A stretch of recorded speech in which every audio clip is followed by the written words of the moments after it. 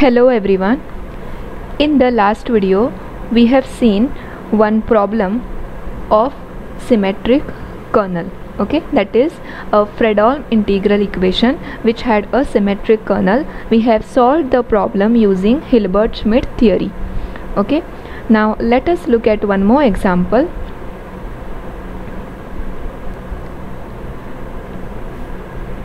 Solve the symmetric.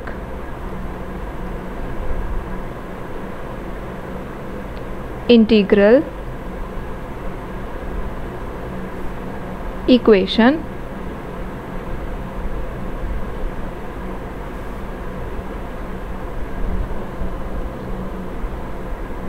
Given as y of x equal to 1 plus lambda times integral from 0 to pi cos of x plus t y of t dt. Okay? So we want to solve this Fredholm integral non-homogeneous Fredholm integral equation of the second kind.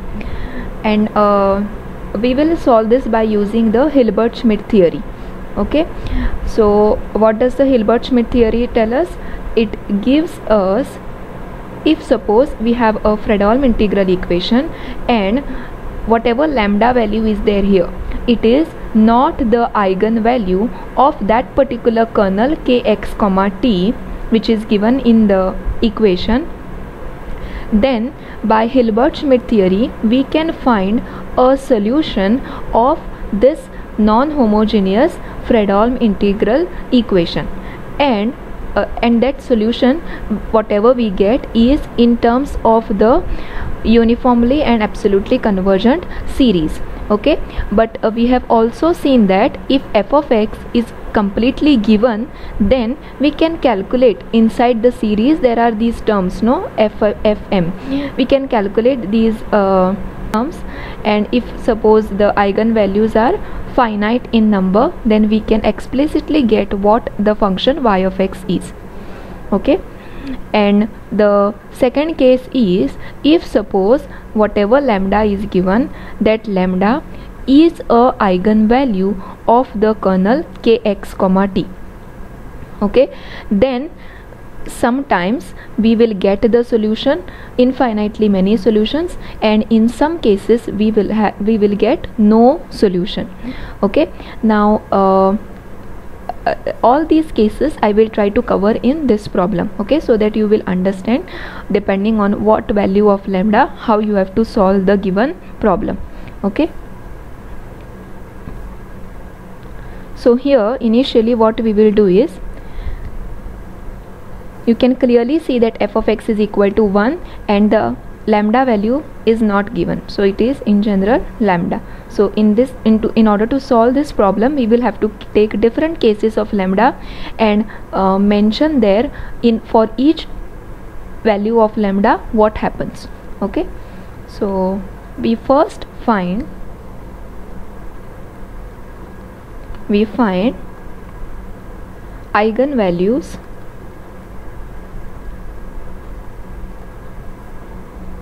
and corresponding eigen functions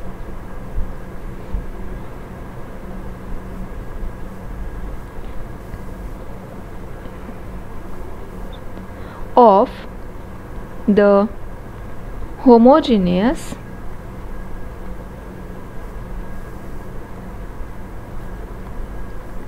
equation that is y of x equal to lambda times integral from 0 to pi cos of x plus t y of t dt. Okay? Now we want to solve we want to find out the eigenvalues and eigenfunctions of this equation 2 okay? Let us name this equation as 1 and the second homogeneous as equation as 2 so if you see this kernel it is symmetric because kx comma t is equal to kt comma x conjugate. Okay? Again conjugate we need not consider because it's the real kernel. So kx comma t is equal to kt comma x. It is symmetric. But you can also see that it is a separable kernel. So we will use that separable formula to find out the eigenvalues and eigen functions and once we get those then we will proceed with the Hilbert-Schmidt theory. Okay? So how do we find out what are the steps that we follow? Initially we will have to calculate d of lambda to calculate d of lambda we will need a11 a12 so first we'll write let a1 of x be equal to if I split this this will be what? Cos of x into cos of t minus sine of x into sine of t. Okay?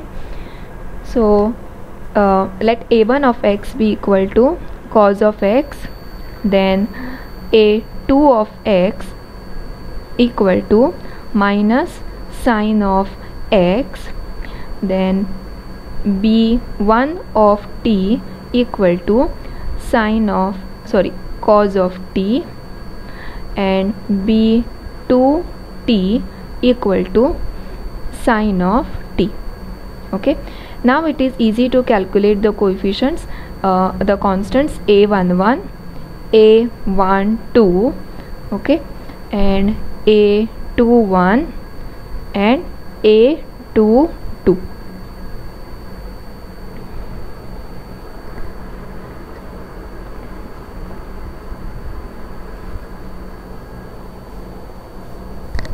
so a11 will be equal to pi by 2 a12 will be 0 a21 will be 0 a22 will be equal to minus pi by 2 okay? And now we can form the system of equations for c1 and c2 c1 is equal to lambda times c1 into a11 that is pi by 2 plus lambda times c2 a12 but a12 is 0 then second equation c2 is equal to lambda times c1 into a21 but a21 is 0 plus lambda times c2 into a22 but a22 is minus pi by 2 okay? So the first equation will give us this uh, that is C1 into 1 minus lambda times pi by 2 equal to 0 and second equation will give us C2 into 1 plus lambda times pi by 2 equal to 0 so we have this system. Let us name this system as uh, the system hash. Okay? Because uh, what happens is we use this again and again while finding the eigen functions also. Okay? So uh, from this what will be d of lambda? D lambda will be equal to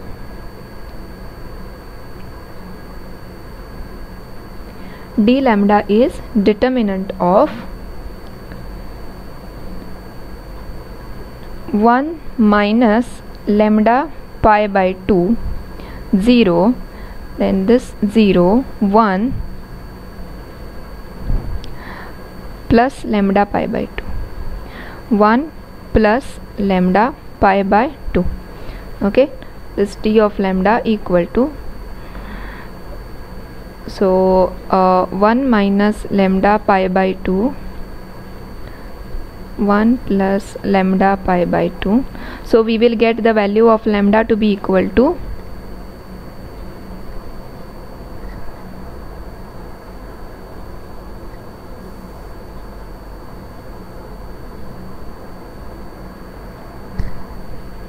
plus or minus 2 by pi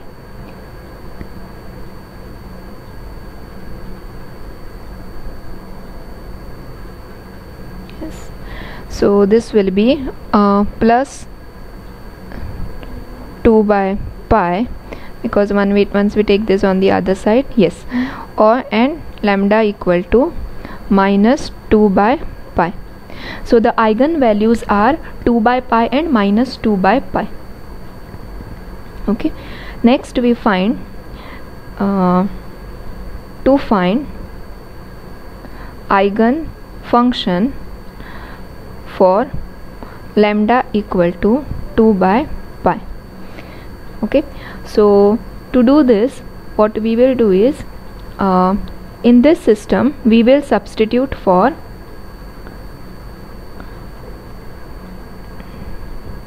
in this particular system hash. Okay we will substitute lambda equal to 2 by pi.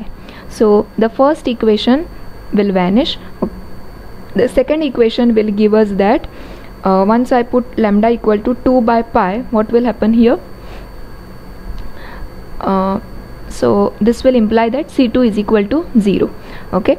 So we will get that uh, so after substituting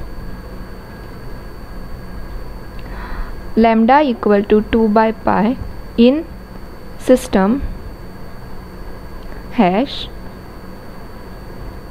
we get c2 equal to 0 and c1 is arbitrary.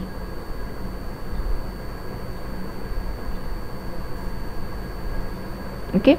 Therefore the first eigenfunction y1 of x will be equal to what? This will be equal to lambda times c1 a1 of x plus lambda times c2 a2 of x. But uh, lambda is 2 by pi constant c1 a1 of x was equal to what? A1 of x is cos of x. So that is cos of x plus lambda times c2 is 0 so this second term will vanish. So this is equal to 2 by pi into c1 cos of x okay? Then we uh, set 2 by pi into c1 to be equal to this constant this constant to be equal to 1 okay? Therefore y1 of x is equal to cos of x okay? Then the corresponding normalized function xi of x okay? So the corresponding normalized function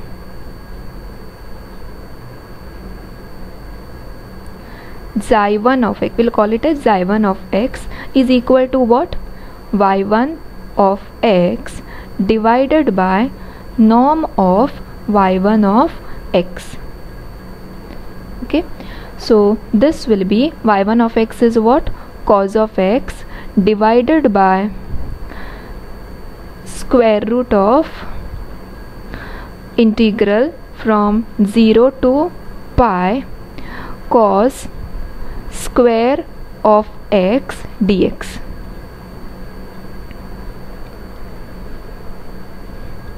So uh, if we calculate this we will get that hmm, so that is equal to cos of x divided by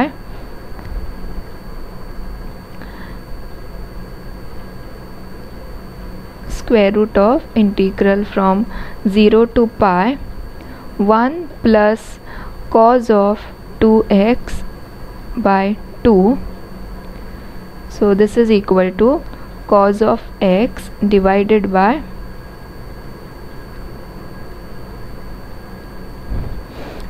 this dx.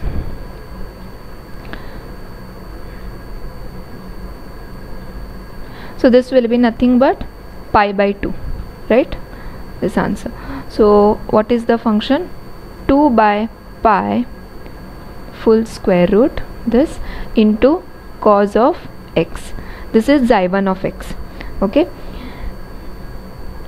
Then when we calculate xi2 of x so to find eigen function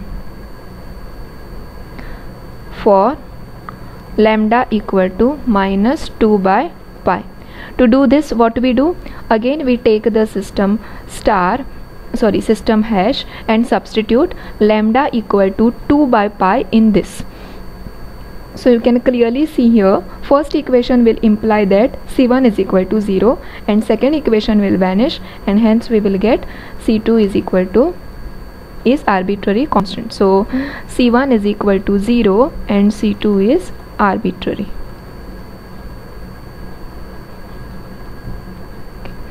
Therefore the function y2 of x. Solution will be given as what? Lambda times c1 a1 of x plus lambda times c2 a2 of x. But c1 is equal to 0 so this first term will vanish. And second term what we will get? Minus 2 by pi into the constant c2 a2 of x is what? A2 of x is minus sine of x. Minus sine of x so we will get 2 by pi sine of x.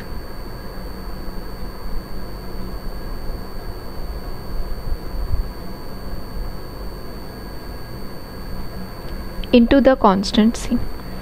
Okay?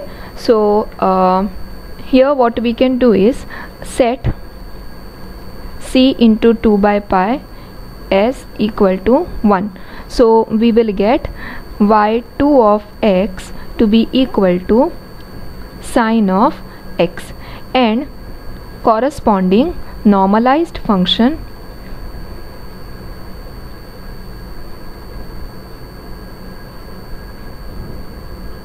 will be uh, let us call it as xi2 of x will be equal to y2 of x divided by norm of y2 of x okay? And how this norm is defined? It is the square root of okay. So xi2 of x is equal to y2 of x divided by norm is square root of inner product of y2 with y2 okay? Which is nothing but integral from 0 to pi y2 of x into y2 star of x but that y2 star is nothing but y2 only because it is a real function okay? Into this dx so this will be equal to if you uh, substitute you will observe that this is nothing but 2 by pi okay? Into sine of x okay? So now we have lambda 1 lambda 2 xi1 and xi2 that is the two eigenvalues and their corresponding normalized eigen functions. Okay? Now let us calculate what is f1 and f2 f1 is what? Integral from 0 to pi f of x into xi1 of x dx. So this will be integral from 0 to pi f of x is uh, f of x is equal to 1 okay? And uh, what was xi1 of x? Xi1 of x was uh, root of 2 by pi into cos x okay? So 1 into root of 2 by pi into cos of x okay? So this is dx. So that is equal to uh, this will be root of 2 by pi into integral sine of x. So that will be equal to 0 okay? You can check that integration. F2 will be equal to integral from 0 to pi. F of x into xi2 of x dx which is equal to integral from 0 to pi. F of x is 1 here also it is root of 2 by pi into sine of x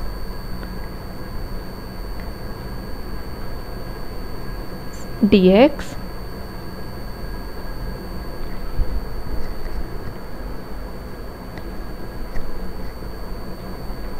so this will be root of 2 by pi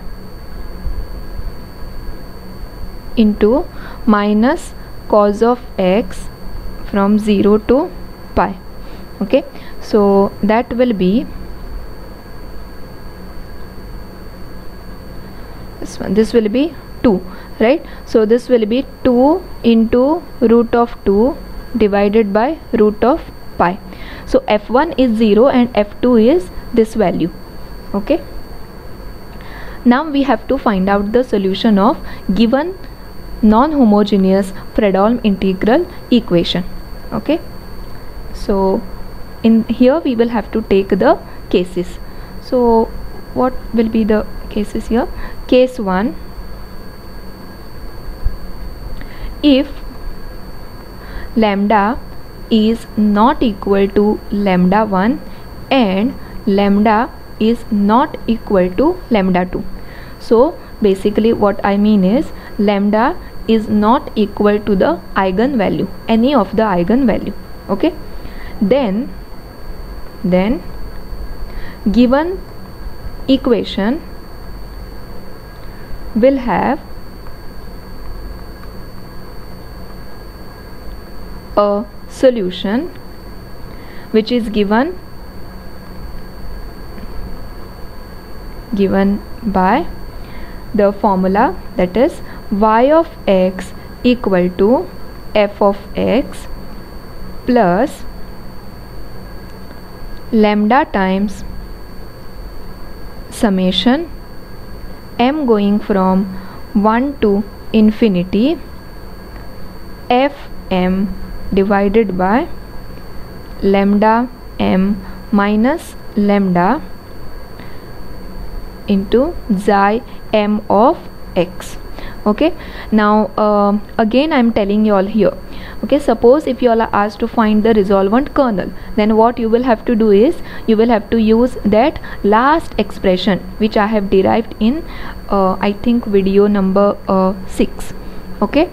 So uh, there uh, we have derived the uh, formula for resolvent kernel okay?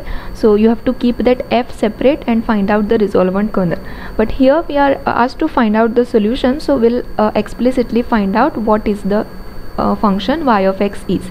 Okay? And f of x is also given to us. So it is possible to calculate these fm's okay? These fm whatever you can see here f of x is given to us so we can easily calculate these. And hence we will get the solution. Okay? And further to that. Also notice here that in this summation how many m's will be there? M is running from 1 to infinity okay? So lambda 1 lambda 2 lambda 3 and so on okay? But in this case because it is a separable kernel it is symmetric but also it is separable. So the eigenvalues will be finite in number okay? Because if you remember we have proved uh, one of the property and it was necessary and sufficient condition. Okay? In one of the previous videos we have uh, proved the necessary and sufficient condition for a symmetric L2 kernel to be a separable kernel. And that condition was it should have a finite number of eigenvalues. Okay? And in this case we already know that the kernel is separable. So definitely it will have finite number of eigenvalues. And therefore in this summation this will not run for infinitely many values of m. Whatever m values m will take only finite values. Okay? So this series is not infinite. We will get a finite series in this case. Okay? Uh, I will also do a problem wherein you get actually the infinite series. Okay? That means the kernel is not degenerate okay and then it will have the uh, uh, what you say uh, uh, many eigenvalues okay that we shall see later. But this is a example which shows you how that necessary and sufficient condition is true. Okay so in this case now uh, how do we write the solution? This will be f of x is 1 plus I will expand this summation lambda into f1 divided by lambda 1 minus lambda into xi 1 of x plus lambda into f2 divided by lambda 2 minus lambda into xi2 of x and we are done because we have only two eigenvalues. Okay? So 1 plus lambda into f1 but i think one of the f1 or f2 someone was 0 right? Okay f1 is 0 so we will uh, this term will go okay we need not write this. So we will go for directly for the second one. So for the second one what it is? F2 is what? Uh, f2 will be 2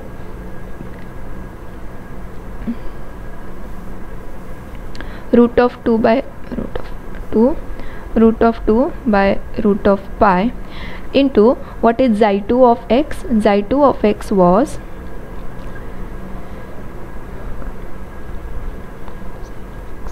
so it was uh, root of 2 by root of pi into sine of x. And the whole thing divided by lambda 2 was minus 2 by pi right? Minus 2 by pi minus lambda okay? So this we can write it as 1 this minus sign I can take it common and I will write it here. So this will be 4 by pi into sine of x into lambda divided by 2 plus lambda into pi into lambda into pi. So this pi and this pi will get cancelled and we will get the solution which is 1 minus 4 lambda sine of x divided by 2 plus lambda into pi. Okay so this is a solution of the given non-homogeneous Fredholm integral equation when lambda is not equal to any of the eigen values. Okay? Now let us look at what happens to the uh, so case 2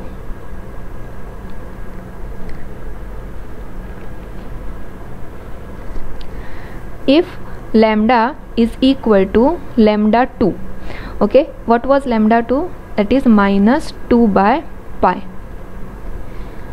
So if it is if lambda value is equal to lambda 2 that is minus 2 by pi then if you see here when we calculated f1 and f2 f1 and f2 f1 is equal to 0 okay? And f2 is non-zero.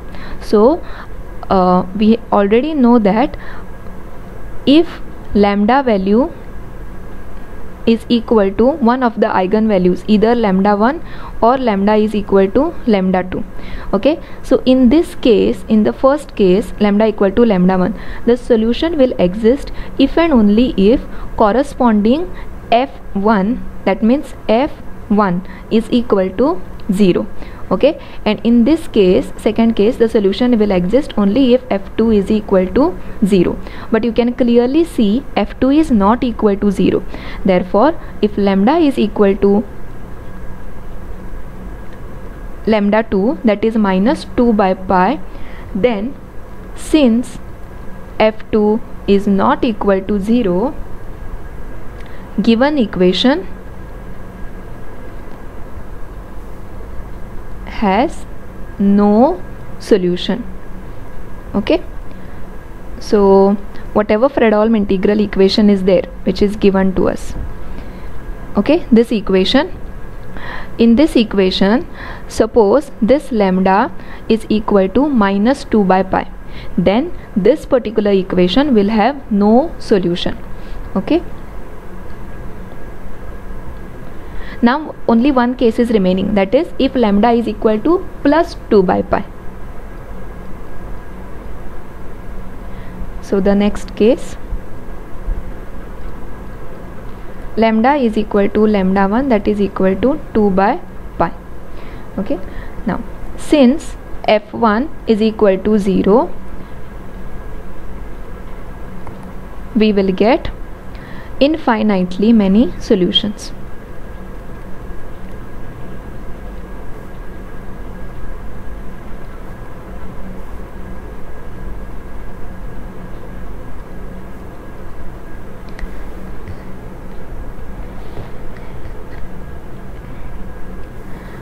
And given by they will be given by.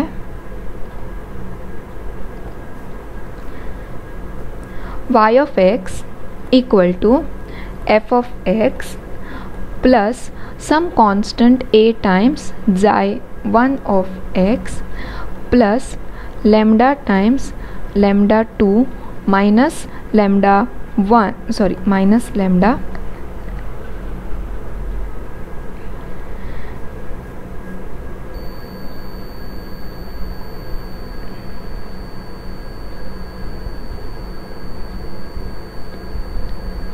f2 into xi2 of x. Okay? What we do is we write the same expression that we uh, wrote here. Okay? This same expression we write. This expression. Okay? The one in the star. Only the thing is what will happen is in this expression if you see because the case is lambda is equal to lambda 1 okay? And observe the first term here. What happens to the coefficient of uh, xi1 of x? The coefficient of xi1 of x will be equal to lambda 1 lambda 1 f1 divided by lambda 1 minus lambda 1 okay? So in the denominator it is lambda 1 minus lambda 1 so that is 0 in the numerator f1 is 0 therefore numerator is also 0 so here the coefficient of xi1 of x is of the form 0 by 0 indeterminate form. Okay? So we take this to be as the arbitrary constant okay? We can use the L'Hospital's rule and find out its limit. Okay? So that is taken as the arbitrary constant and uh, some arbitrary constant a into xi1 of x plus if you see the second term here this second term we can very well write it because lambda 1 and lambda 2 are the two distinct eigenvalues. So in the denominator what it will be? Lambda 2 minus lambda 1 in the numerator it will be lambda 1 into f2 and xi2 of x. Okay? Uh, denominator will never become 0 because when we chose the sequence of lambda 1 lambda 2 and xi1 xi2 we have ensured that they are the distinct ones. Okay? So uh,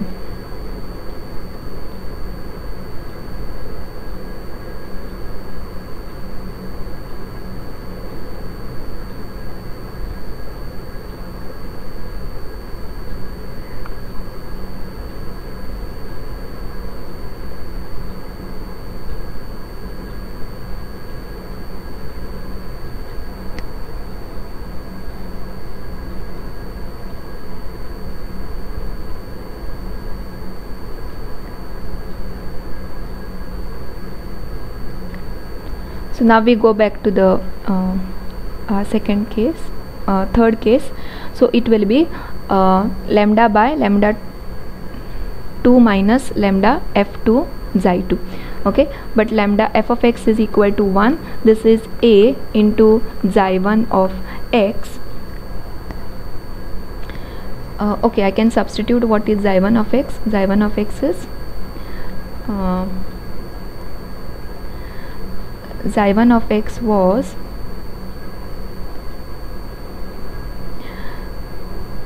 mm, root of 2 by pi cos of x.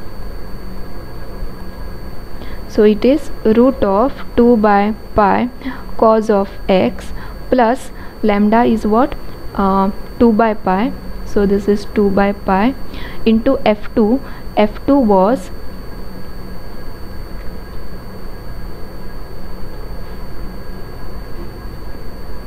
2 root 2 root by 2 into root of 2 by root of pi okay into xi2 of x. xi2 of x was 2 by pi sine of x. And this full thing divided by lambda 2 was what? Minus 2 by pi. And lambda 1 is because I am pu uh, putting lambda equal to uh, lambda 1 okay? So this will be minus 2 by pi. So this solution it will come out to be equal to if you uh, solve all these constants and um, simplify them you will observe that this is 1 plus let us call this as we'll call this full thing as some c okay? Some c into cos of x and this will be minus 2 by pi into sine of x. Okay? If you simplify these constants you will uh, notice that it is minus 2 by pi into sine of x. So this will be the solution and this c is the arbitrary constant and because of that we will have infinitely many solutions. When lambda is equal to lambda 1 that is 2 by pi okay?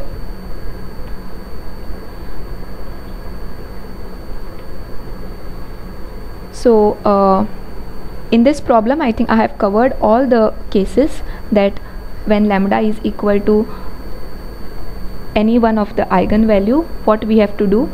And when lambda is not equal to any of the eigenvalues then what we do. Okay? So uh, understand this case 2 and case 3 properly okay? So when lambda is equal to the eigenvalue we will have to first check whether the corresponding uh, f2 fm is non-zero or not okay? Whether it is 0 or not. So if it is 0 then the solution will exist and if it is non-zero then directly you can say that the solution of the given problem of the given equation will not exist okay? Or there is no solution okay? So the thing is like if lambda is equal to lambda m for where lambda m is the eigenvalue okay? Then you have to check that particular fm if this fm is equal to 0 then solution sorry if it is not 0 then no solution.